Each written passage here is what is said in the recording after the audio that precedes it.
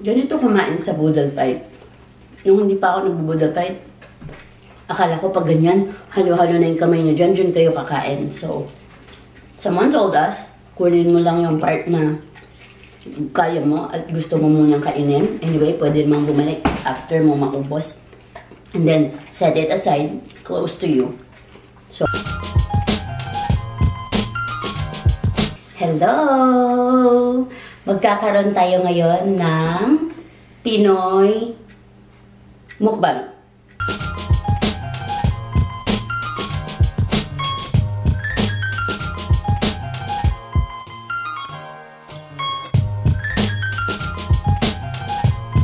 Pinoy food mukbang or slash boodle fight. Okay? So, ito yung mga na-prepare namin food. Meron tayong, hmm, excited na ako, tinapa. Meron tayong hmm, sunny side up. Ang paborito ko yan. Meron tayong longganisa. Sweet yan. And then, nilagang okra, nilagang talbos. Meron tayong ensalada. Kamatis lang yan, tsaka sibuyas. And then, pritong talong. And, syempre, ang highlight, yung ginawa kong tocino. Ako gumawa niyan. I'm proud. And, salted egg.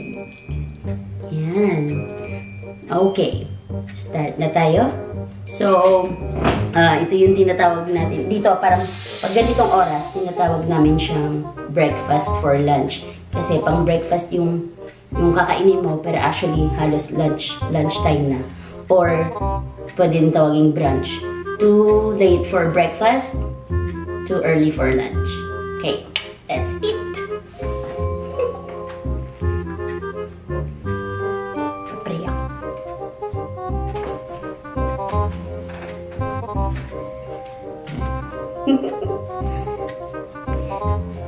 Ito yung, ah, okay, pwede namang ihabol.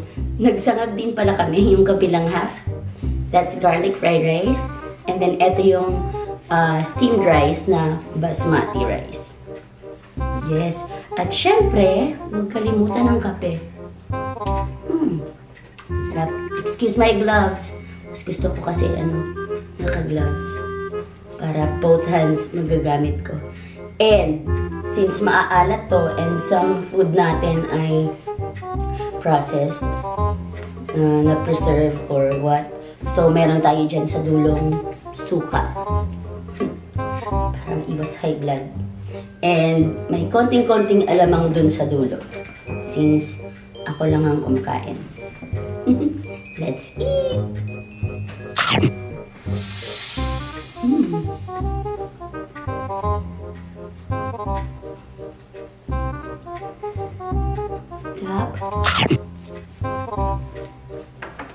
Tinapa.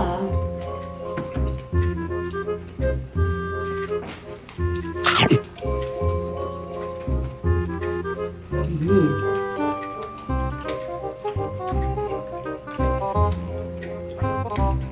Ganito kumain sa Boodle Fight.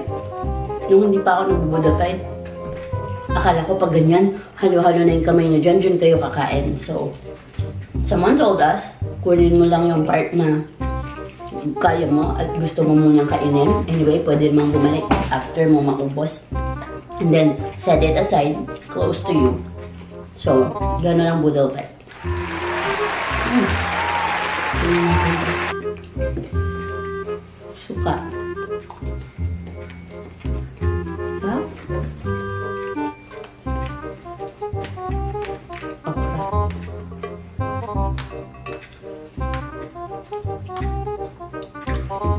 Okra dito, sad lang, hindi na fresh. Frozen na siya. Hindi kagaya dyan sa atin. Yung iba galing pa sa puno. Tosino.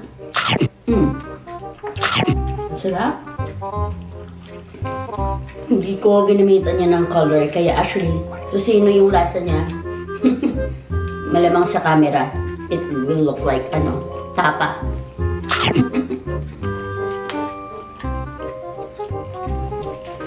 It's fine.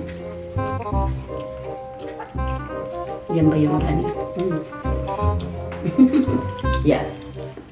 Hindi alamang. Ang sarap. Yeah, once in a while, nakakamiss ang pagkain Pinoy. Kaysa, although buti hindi kami mahilig puro pizza, ganun, pasta.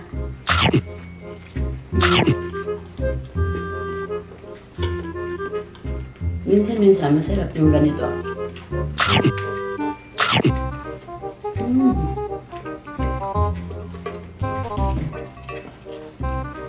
Yan pala ako ng salmon. Garlic fried rice. Mmm. Match na match. Likewise, no, no, Lahat? Sarapan ka sa sinangag ko ha. Mm. Next time. Ano to ha? Pinoy food mukbang. Slash budol.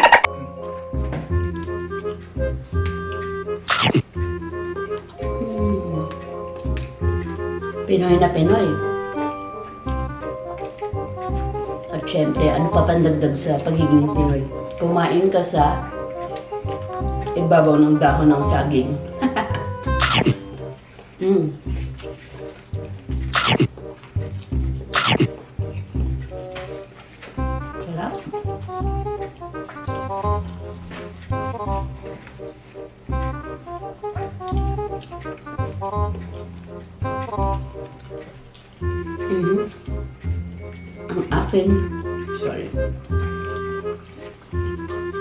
Itlog na maalat. If you'll notice, parang dalawang round siya. Ito yung nabibili dito na ano, ah, double yolk, kung tawagin nila. Dalawa yung pula niya sa loob. Kaya, usually, it's bigger than the ano, usual egg na mabibili mo dito. Kasi, inaano yan sa farm. Ah, galing pa sa farm, order ka sa kanila, and then yun, i-deliver nila sa'yo. Hmm. Mali yung dahon natin. Dapat, Bakit? ito nakaibabaw. Oh, Kasi pumapasok sa loob yung kanin. lang.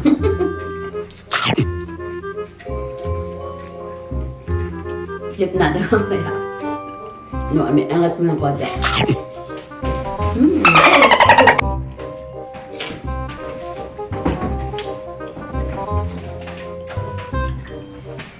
Pinoy food talaga, ang dami mong option. Minsan halos hindi mo na alam yung uunahin mo. Oy, eh, syempre, anong himagat? Kita niyo ba yan? May saging pa. Depende kung may space pa after. Minsan kasi, sa akin okay lang walang dessert.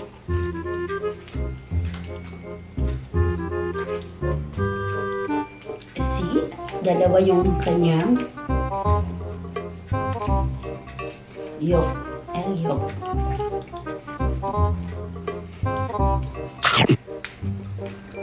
Ay, sarap. Hindi siya maalat. Mm.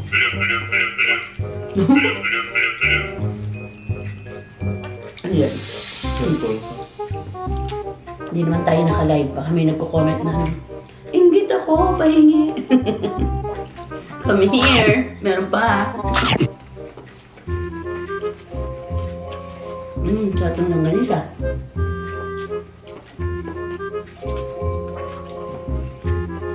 Sarap. Nakakalimutan ko yung sunny ako ah. Mm.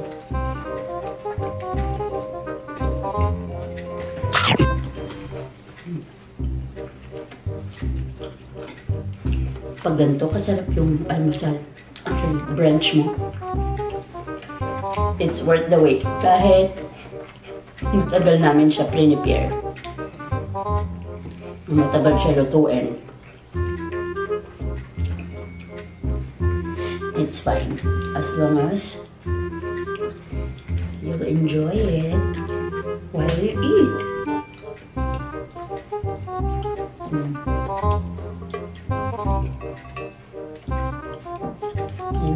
Ang nagagawa ng voluntary self self quarantine. One more time. Voluntary self quarantine. Yan, dati kasi nag ah, seafood mukbang kami. If I can show you the link there mamaya or pag in-upload.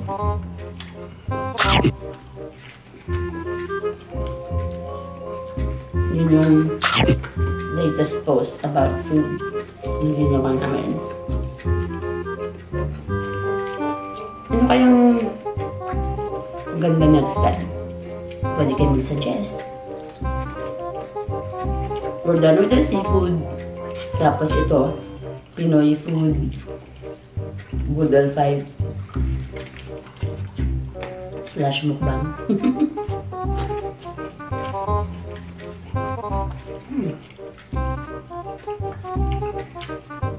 Tapos itong tabos ng kamote. Buti na lang. Pagpunta namin sa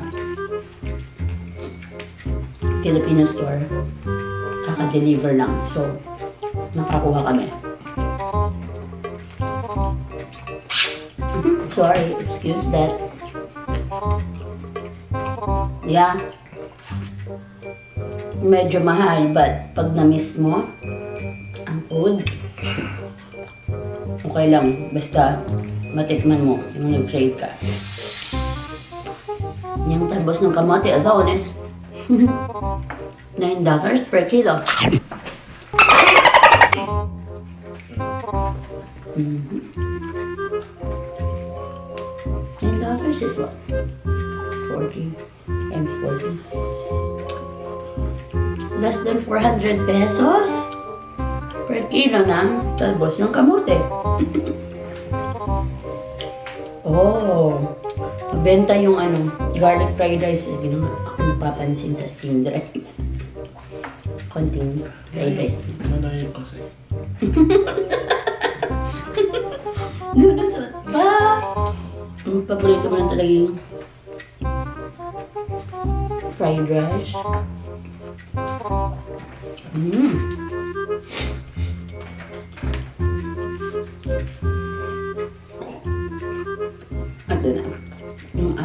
Aking sunny side up.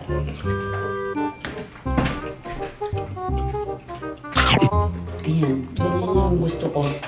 Yung hindi. Konti lang yung tutulak. Hindi masyadong rally yung loob. Mm. Nagsusuka ka. Yeah. The best. Actually, yung tanong, parang ang sarap sa ano eh. Toyo tsaka kalamansi. Kasi wala tayong totoong kalamansi. Meron tayo lemon juice. Mm. Hindi ko napapansin yung kape. Wait lang.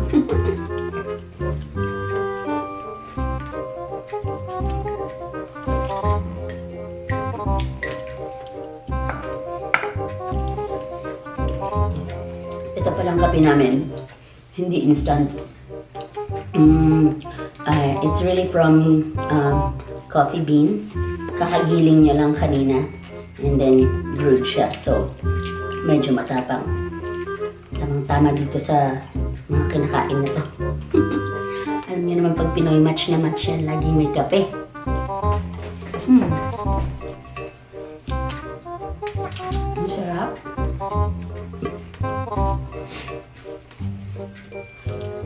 Ang sarap kumain? mm.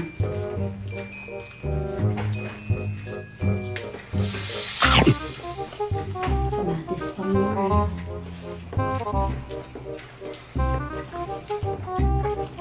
Yan. Dapat maglalaga pa ako ng talong kaya lang ang dami na kasing prito. So, sarap din yung nilagang talong. Mm.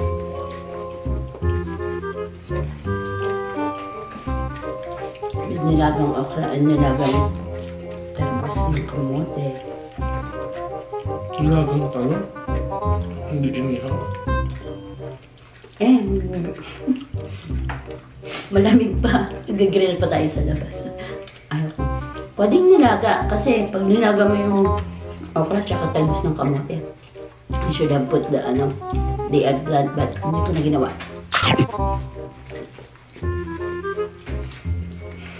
Tikman mo yan. Ako gumawa ng itlog na maalat. You have to eat that. Isa na nga lang inopen ko, an- pero ang dami pa dyan. And actually, nagko-cure pa ako. Kaya lang ito kasi medyo brown. Yung may next batch ako dyan na kinicure. I just do it in brine kasi wala namang clay dito, hindi kagaya dyan sa atin. Yung may putik. So, brine lang ako. Um, ano lang, ah, water lang at saka salt. May process nga lang nasusundin bago mo siya ibabad for about a month and few weeks maybe. Depende sa timpla na gusto niyo. Kung gusto niyo mas maalat, mas matagal mo ibabad. This one, binabad ko lang ng one month so tolerable yung alat niya, hindi siya masyado maalat. Ayun din naman yung gusto ko. Although I know yung iba gusto mas mas maalat pa dyan. But, okay na to sa akin. Ano ito bang gusto?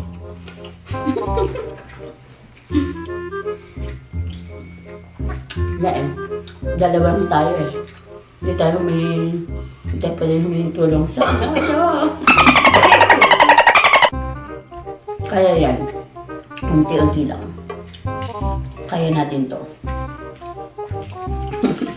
Hindi kasi pwede mag-invite.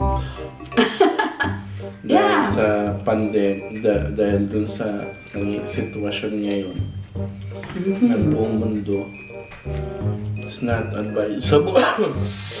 Yan. It's not advisable na mag-invite ng mga Friends sa friends, ng mga kaibigan. nagsiself isolation kami. Voluntary self isolation. Di ba? Kahit sila naman, hindi rin pupunta dito. Mhm. Siyempre, for their own safety rin. Kasi sabi nila, di ba, wala namang nakakaalam na meron ka na pa excuse me, meron ka na pala noon. Mhm. Asymptoma asymptomatic. Don't pass it out. Mm. Coffee. Hmm, ka bang kape? What? Gawa ka pa. mm. Tapang. But it's fine. Yeah, meron pa dun sa dulo ah.